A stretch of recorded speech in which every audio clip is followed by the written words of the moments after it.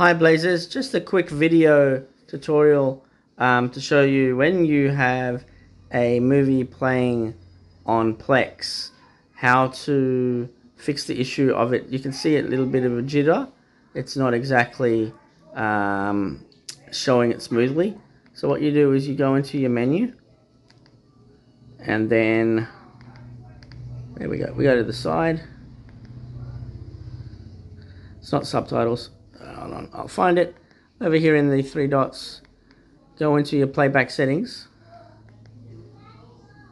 And then in your playback settings, you can find uh, the quality, change the quality, and say convert automatically.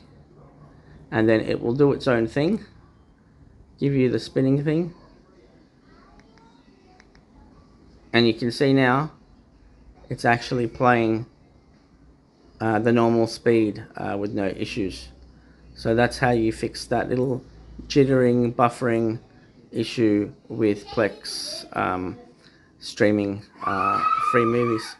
Uh, as always, please subscribe and like to our videos, and we'll see you on the next one. Bye for now.